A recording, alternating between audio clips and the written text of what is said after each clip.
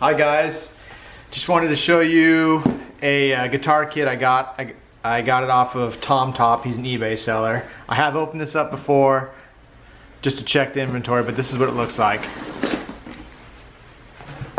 So we got the body, the neck, and all the other bits and pieces, and the instructions. And the, the instructions are, are pretty vague, but they do have all the guitars in there except for this guitar, but I'm sure it'll be easy to figure out. I like I built uh, the Telecasters that I got from uh, Saga Kit, and it was pretty easy to put together. Anyways, here's the body,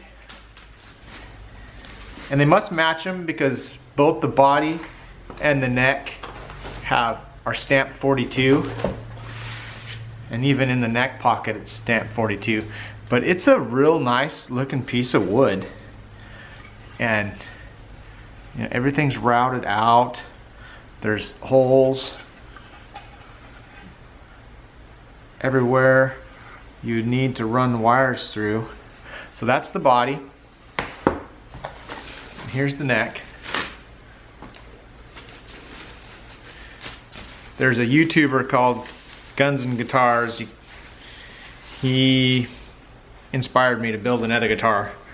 The first one I built turned out okay, but I didn't really know what I was doing. But after checking out that Guns and Guitars video, I learned a lot. So I'm gonna try to try to do it again. This is the neck, and it's it's it's a it's pretty well built. I mean, it feels it feels pretty smooth. It's gonna need some fret work, I assume, but it seems it, it looks straight. There, it's I mean, it's machine. I think it feels quality. I think I'm gonna do it cherry red with RIT dye. And let's see here. Here's all the pieces, other parts and pieces. It's got it comes with a cable and looks like a truss rod tool. The tuners actually look pretty good. They they turn nice and smooth. There's all the pieces for the tuner. The There's the nut, which kind of concerned me when I first took it out because it looked like they glued the nut in and then knocked it out or something. Or maybe that's just the glue from when they put the fretboard on. I don't know. But yeah, truss rod cover, nut, and the rest of the, the tuners and all. It looks like all the screws and everything's in here. Then we got the, the backing plate for the electronics uh, the backing plate for the bolting the neck on, and the rest of the hardware for doing that. And we got uh, some pickups, humbuckers, and the bridge, the bridge pins. And you'll notice on the guitar that it's not drilled for the bridge pins, so we'll have to align it all. And I've got straight edges and stuff to do that. Uh, there's the set of strings. And then the knobs. And the knobs are pretty cool actually. They're, I think this is going to be a pretty cool kit, so yeah. And the neck and the body joint actually fits pretty good.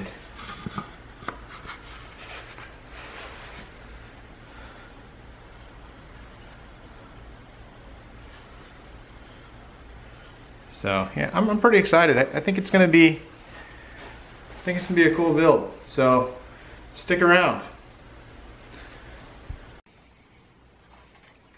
Here's the finished product.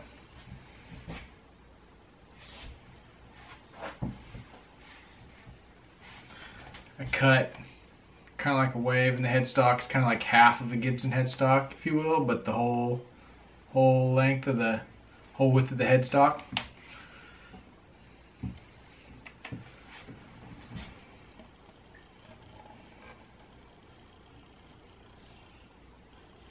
So this was the Tom Top Les Paul Jr.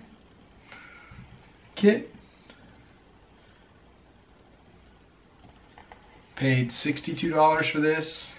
Inspired by Guns and Guitars. You guys should check him out.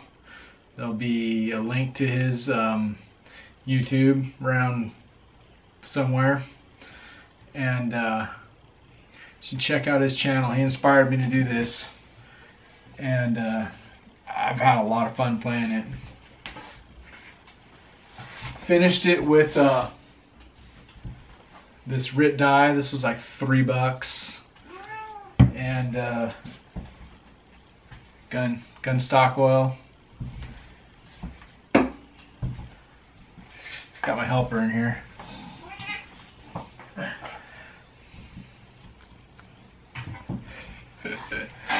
Anyways, plug it into the plug it into the computer here.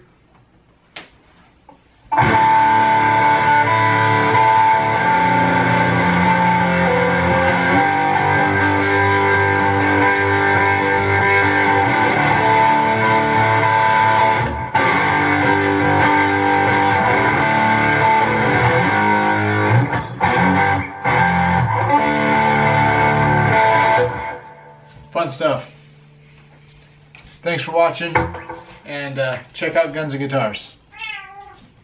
And my helper. Good night.